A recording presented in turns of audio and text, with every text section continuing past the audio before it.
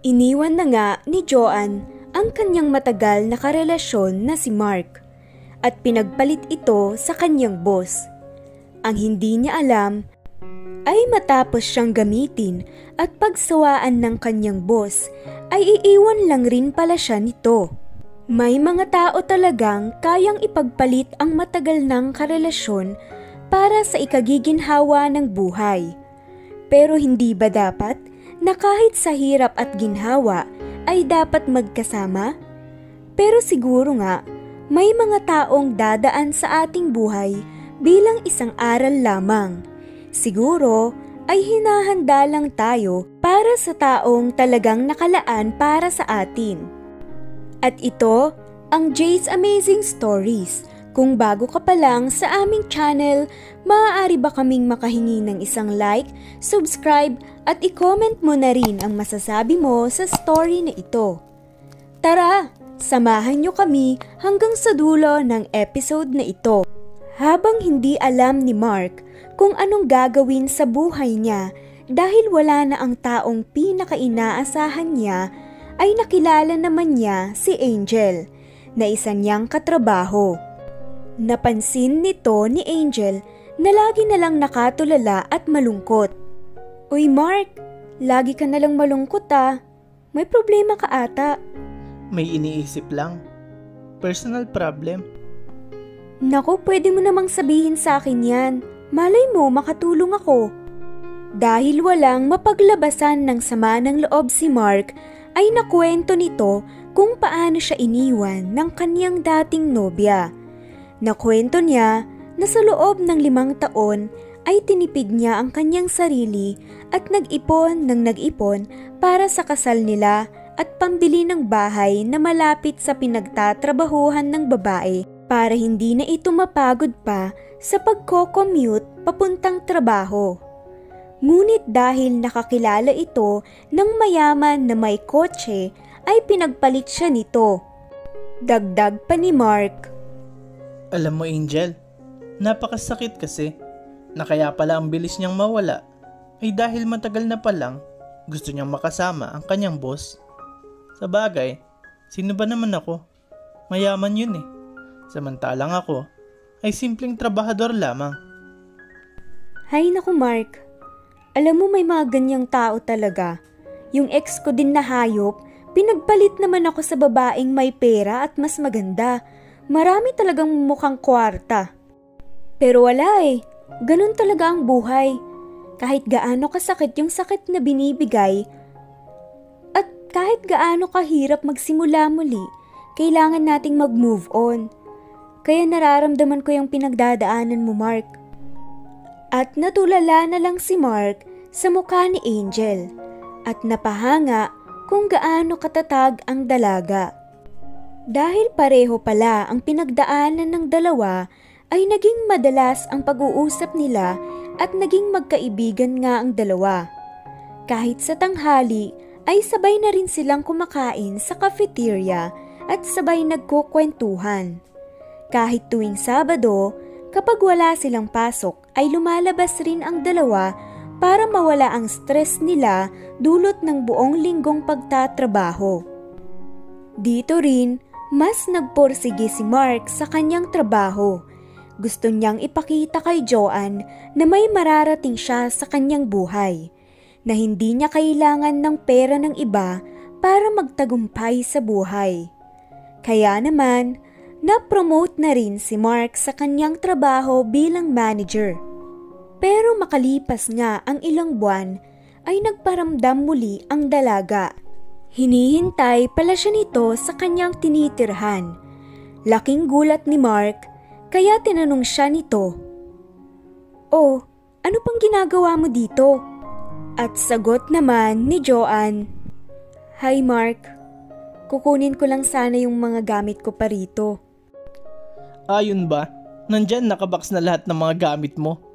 Kunin mo na dyan at umalis ka na din agad. Balita ko, na-promote ka na rin daw ah. Congrats Mark. Pero hindi naman ito pinansin ni Mark.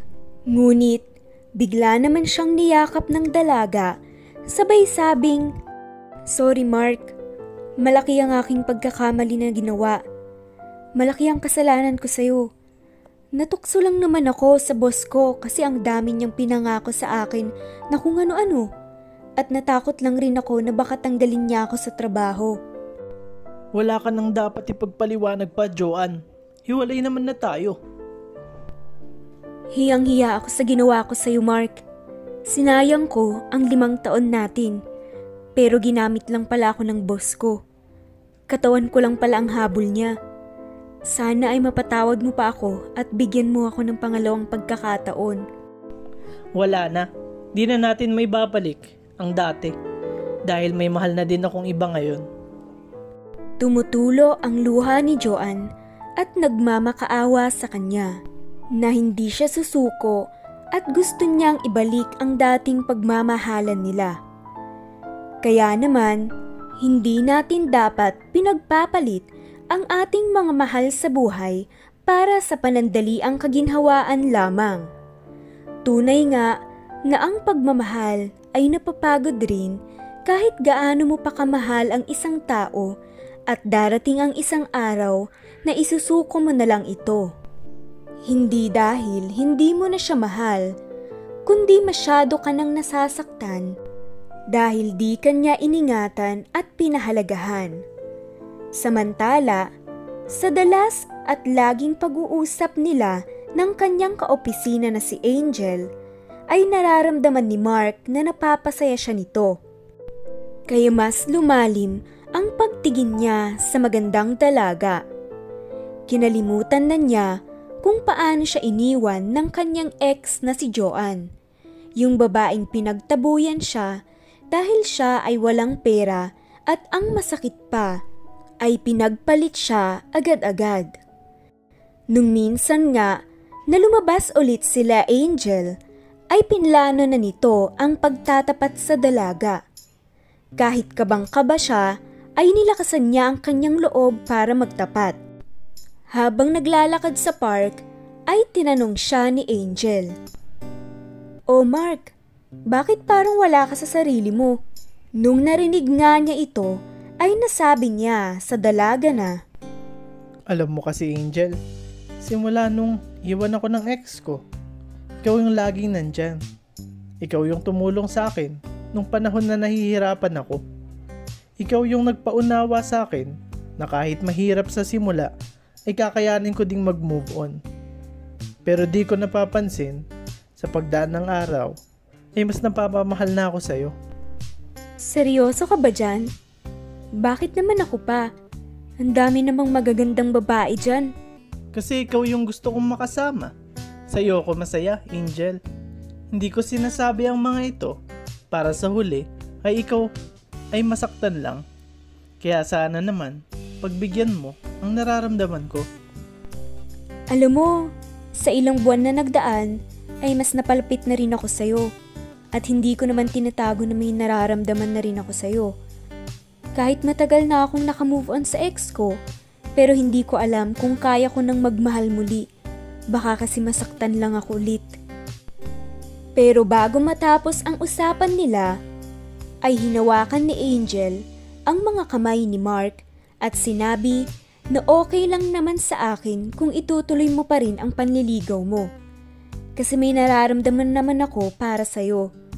Pero sa ngayon, medyo naguguluhan pa ako. Sabay yakap nito kay Mark. Kaya naman, ipinagpatuloy na nga niya ang kanyang panliligaw sa dalaga. Dahil magkalapit lang ang bahay nila ay sinusundo ni Mark at sabay na silang pumapasok sa trabaho ni Angel.